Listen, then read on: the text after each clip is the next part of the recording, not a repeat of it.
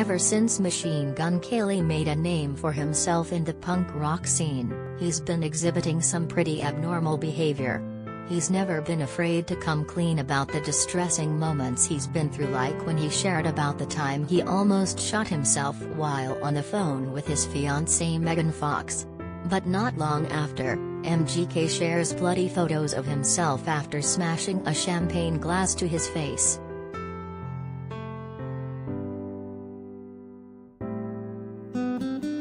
Just recently, Machine Gun Kelly and Megan Fox were twinning their pink hair in honor of his Hulu documentary Life in Pink. Before that, this musician had an after-party for his sold-out June 28 show at Madison Square Garden. However, he shared on Instagram some graphic photos of what he looked like after smashing a champagne glass to his face during the show.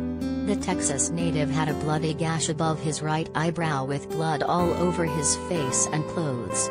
The caption reads, NYC you're my bloody valentine. If you're not repulsed by blood, take a look below.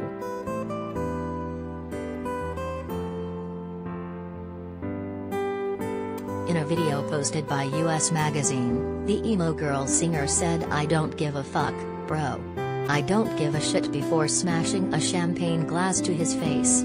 He's still performing his song My Ex's Best Friend like nothing is wrong as the crowd gasps. Then the crowd continues to sing along with MGK as well as taking videos of him with their phones. Here's the shocking video below.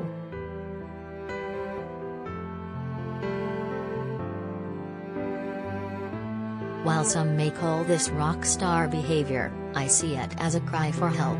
There have been numerous times when MGK has been no stranger to blood.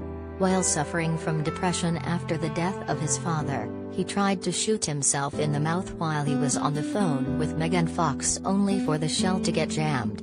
There was also the time he was playing around with a knife trying to impress his lady love only for him to stab his hand while trying to catch it. Not to mention he wears fake blood syringed earrings and has a ritual with the Transformers star in drinking each other's blood.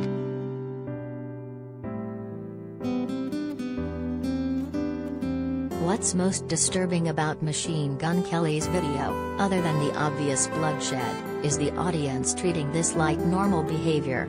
However, the comments in MGK's Instagram photo show a number of fans hoping this famed rock star gets better. Fortunately, Kelly has been in therapy for his drug abuse issues.